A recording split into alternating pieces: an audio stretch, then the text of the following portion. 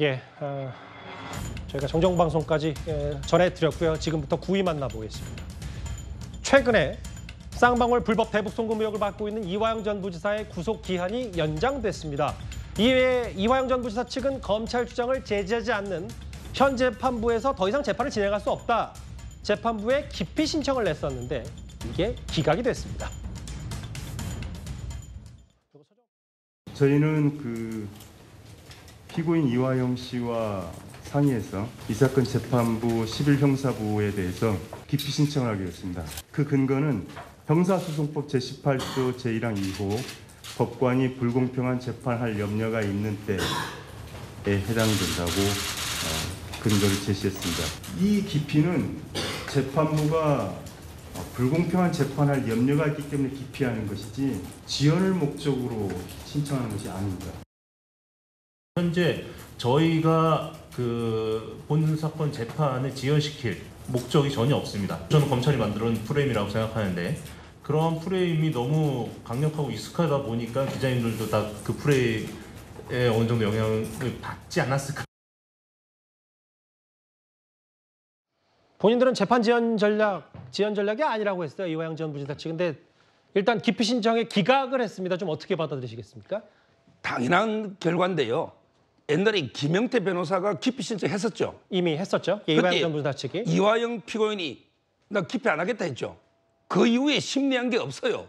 전부 그 전에 대부분 50차까지 심리가 됐잖아요. 예. 그때 검사가 유도 신문했을 때 판사가 안 막았으면 옛날에 했어야죠. 옛날에 안 하고 김영태 변호사가 할 때 이화영 피고인 안 한다 했는데 갑자기 기피 신청한다? 이거는 전에게 말이 안 되는 사유고요. 저는 이번 기피 신청은요. 이화영이가 본인은 손해를 보더라도 이재명을 살리자 이런 의도로 봐요. 왜 그러냐면 이게 기피 신청하면요. 아무래도 이게 형량에 불리할 거 아니에요. 판사도 인간입니다. 기피 신청하면 이게 형량이 불리해요. 그리고 이게 구속 기간에도 산입을 안 해줍니다. 이 말은 이화영 피고인 본인한테는 엄청나게 불리한 게 기피 신청입니다. 예. 근데 왜 하느냐? 결국에 이재명 대표의 재판 지연과 보조를 맞춰서 최대한 끌어보자. 이번에 또 고등법원에 항고할 거예요. 대법원에 재항고하면 또 두세 달 갑니다. 자, 그러면 이게 신진우 부장판사 내년에 인사 대상일 거예요. 오래됐기 때문에. 그러면 이게 또 판사 교체되면 그냥 재판이 그냥 1, 2년 그냥 가는 거예요. 잠시만요. 그러니까 오늘 수원 지방법원에서 기각을 했다고 하더라도 이화영 전 부, 이화영 전 부지사 측 말만 따라 또 항고하겠다고 하면 계속 진행이 되면 어쨌든 어, 기피 신청으로 지연은 어쩔 수 없는 선택이다. 그렇죠. 그렇게 되면 이게 이재명 대표도 대전략이 재판 지연 전략 아닙니까? 이게 만약에 외국환 관리법이 다 연결돼 있거든요. 예. 대북 송금과. 따라서는 이재명 대표를 구하기 위해서 이화영 피고인이 본인은 피해를 보더라도 지금 이게 저는 도와주고 있다. 이런 이제 그 생각이 들고요. 예. 이 깊이가요. 주로 제일 많이 쓰는 게 간첩들입니다.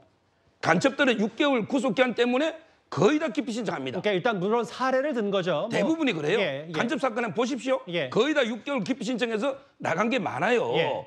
저는 이화영 부- 피고인들이 대북 송금으로 지금 의혹이 있잖아요. 예. 이런 게 정말 재판부를 무시하는 아무 사유도 없는 기피 신청 예. 이런 거 이게 좀 없어져야 됩니다. 그러니까 뭐 이제 기각하는 사람들 중에 간첩들이 많다는 거지. 뭐 이거 이화영 전 부지사와 완전히 동의를 할 수밖에 없으니까 예. 그 부분은 이해하실 거라고 믿고 이승훈 변호사님. 근데 다만 이런 것 같아. 그러니까 이화영 전 부지사의 어떻게 판사가 다 검찰 말만 다 들어주냐. 기피 신청하고 또 기각되고 또 항고할 거다. 이런 지연 전략 혹은 이재명 대표도 위증교사가 병합될지 말지는 아직 안 됐습니다만 이제 성격이 다른 위증교사까지 재판이 다 이어지면 이거 도대체 재판은 언제 끝나는지 이화영 전 부지사 대북 송금 의혹 또 이재명 대표와도 직간접적으로 많은 관련이 있기 때문에 그래도 어느 정도 신속하게 재판이 이루어져야 되는 거 아닌지 큰 틀에서 보면 어떻게 생각하세요? 근데 뭐 이재명 대표가 재판을 지연한다기보다는 오히려 뭐 검찰이 저는 지연 전략을 쓰고 있다고 봐요. 왜 그러냐면 1년 6개월 동안 수사했는데 좀 빨리빨리 기소를 해서 어차피 재판에 넘길 거 빨리 넘겼으면 됐는데 굳이 추석 밥상에 올리려고 너무 천천히 시간 타이밍을 조절하다 보니까 저는 늦었다고 보고요. 두 번째는 일단 이재명 대표에 대해서 탈탈 털다 보니까 기록이 너무 많아요. 그리고 그 기록 속에 증인들이 너무 많아요. 그러면 기록에 있는 증인들에 대해서 모두 다 증인 신문을 해야 되는데 50명, 100명이 되는데 그 사람들 어떻게 다 증인 신문을 합니까? 굉장히 많은 시간이 걸릴 수밖에 없는 것은 결국에는 검찰이 수십만 쪽의 수사 기록을 만들었고 수, 수십 명, 수백 명의 증인을 만들었기 때문이다. 이런 말씀 드리고요. 불가피하다. 그리고 이화영 전 평화부지사 같은 경우는 1년 정도 구속이 됐으면 불구속 재판을 하는 게 원칙이에요. 아니 자 본인이 구속되어 있고 또 변호사비를 많이 주지 않으면 변호사가 면회를 가서 알겠습니다. 예. 먼 곳까지 면회를 가서 또 컴퓨터도 칠 수가 없거든요. 그러면 굉장히 방어권에 지장이 오는데 1년이 넘었음에도 불- 불구하고 추가 영장을 발부해서 1년 6개월을 구속으로서 잡아두겠다라고 하는 것들은 무죄 주장을 하는 데 있어서 방어권 주장이 굉장히 힘든 어떠한 방어를 할 수밖에 없기 때문에 저는 1년이 넘어가는데도 구속 상태로 재판을 받게 한다. 이건 조금 재판부가 과하다 이런 생각은 듭니다. 예. 두 분의 뭐 전혀 다른 재판부의 판단 얘기를 들었는데 일단은 어, 기각 신청 어, 재판부 기피 시- 신청 기각이 됐습니다만 또 앞으로 또 어떻게 시간이 더 끌어질지는 알 수 없기 때문에요. 이화영 전 부지사에게 오랜만에 봤고요.